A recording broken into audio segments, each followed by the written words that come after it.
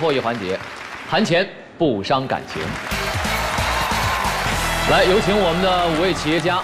来，我们先从杜子健这边开始。杜老师，啊，我的地址在上海啊，我的公司叫健健传媒。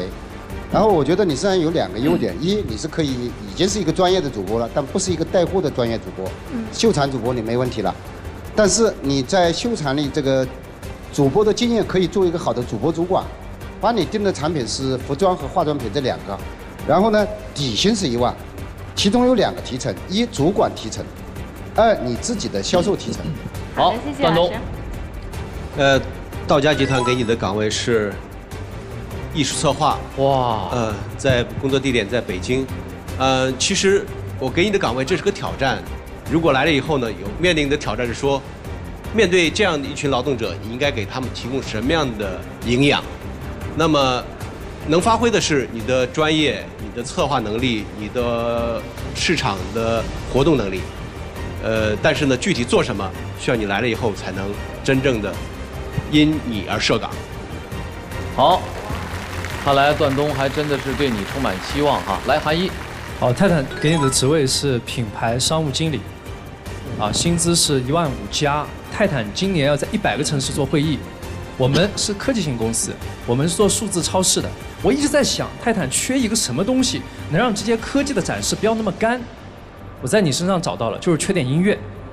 所以我觉得这件事情的话，你很适合。小叶。迎朗文化给能给的职位呢是项目执行，因为我们呢是专业的公关活动公司，就是线下的活动。那我们呢服务世界五百强的企业，但是呢，因为你只有表演的经验，可能没有活动执行的经验，所以呢，我们只能从这个相对基础的岗位给到你。呃，青柠给你的是一个青柠的娱乐主播，必须每天播多少时间，这个有要求。然后播出地点，我们前期肯定是到成都，因为成都我们好管控。好，谢谢老师。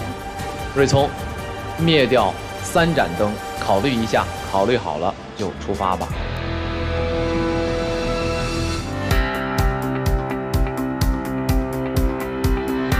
对不起，老师。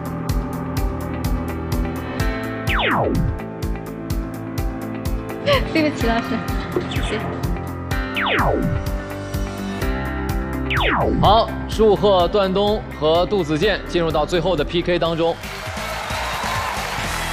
我们先从杜子健老师这边开始哈，嗯，来，杜老师，呃，主播主管，我会给你一个团队，主播那一块的整个业绩，呃，就像你带你的这个刚才的这个乐队一样，你来负责他们的这个运营管理。呃，就是工作地点我一定要去上海是吗？而且要住在上海。好的。好，我们再来看一下段东这边，就像我刚才给你讲的，其实是希望你能够，这是个新设的职位，我们希望给呃劳动者传传递。美的声音，让他们在工作中感受到愉悦。可能你要一人多多个角色，有主播，有策划，有组织呃在线的直播呃各个角色。老师，我想问一下，我到您的公司的发展空间有多大？呃，这个岗位呢是新设的岗位。那么为什么把你放在市场部呢？我们现在呢也签了一些 MCN 的这个呃所谓的网红。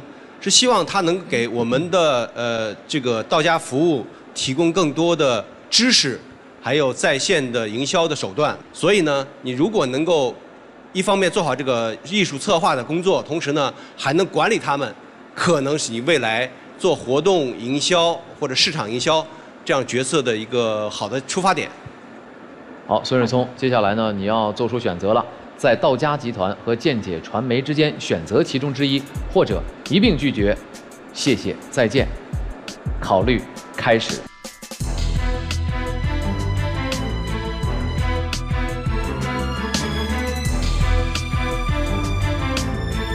所以你的考虑和选择是？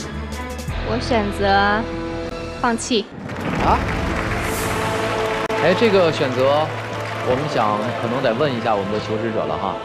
呃，我觉得段老师那边，我不是很明确，就是对于我的这个发展方向和位置，我觉得可能有点杂。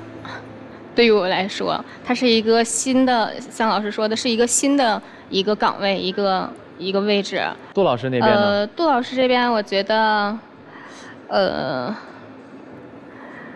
可能离我的要求还差一点。啊，你的意向薪酬是两万，对期望薪酬是两万。你算不出来吗？你你这个，以你作为主播的一个一个专业度，他那里面的提成很高的。不解释不解释，解释就是掩饰啊。不解释好吧，既然求职者有了他的选择，我们也尊重他这样的选择，也希望你今后能够，我们能够在更多的演出场合当中能够看到你精彩的表演。